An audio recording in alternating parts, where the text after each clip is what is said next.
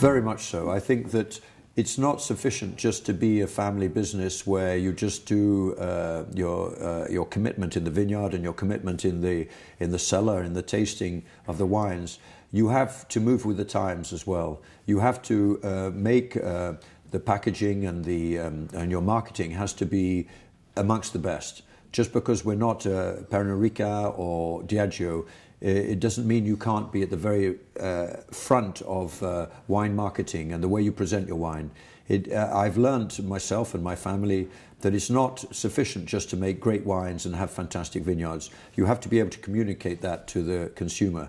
And, and that means that you have to do marketing and design which is as good as the best. Um, otherwise, you, you, you just get forgotten in the, in the very competitive area of wines and spirits in the world.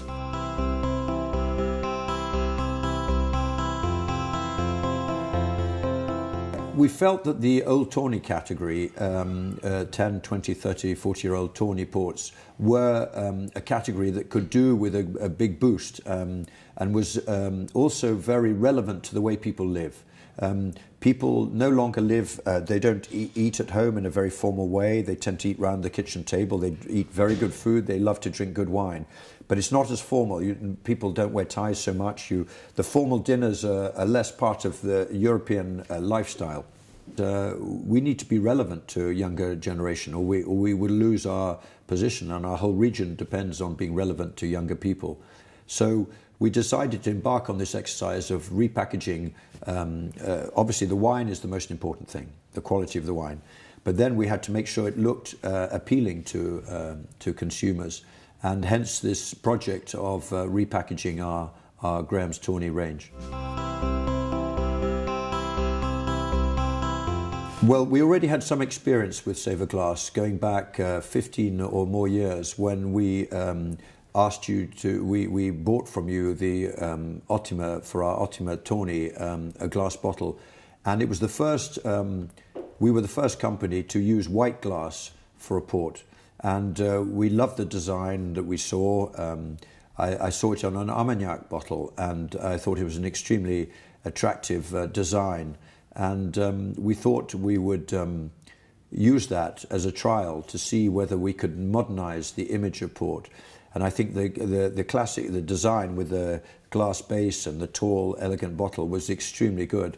I think the quality of the glass is also important. I, I spoke to our production director here and um, the, the, the, glass that uh, Glass makes is uh, very um, high, high quality with no defects visible in the glass.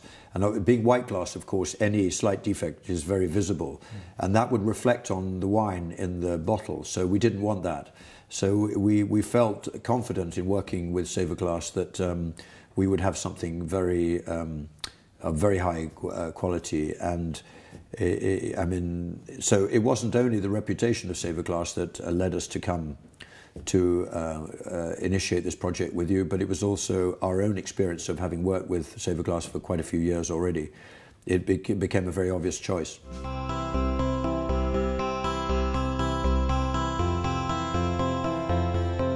We launched this wine in the spring of 2012. Um, we're now uh, late uh, December 2013.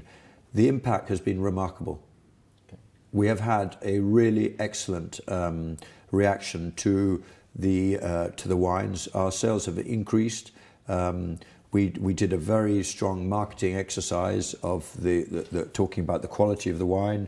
Um, and I, I was in. There is one thing which is very important to say in wine, consumers are skeptical a little bit. If you just say this is about marketing, then uh, a lot of wine lovers say it's it's not something I, I, want the wine. So when we relaunched, we spoke mostly about the wine. the wine.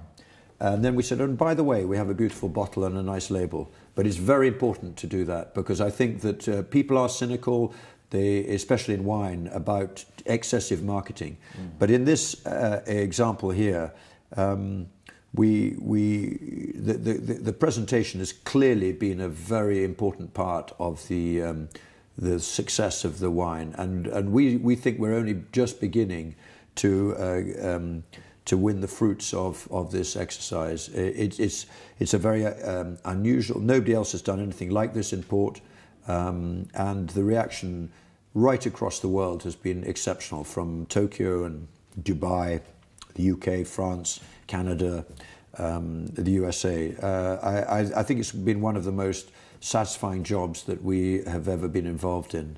And uh, in, in, in, a great part is no doubt due to this very attractive bottle. It was a great project.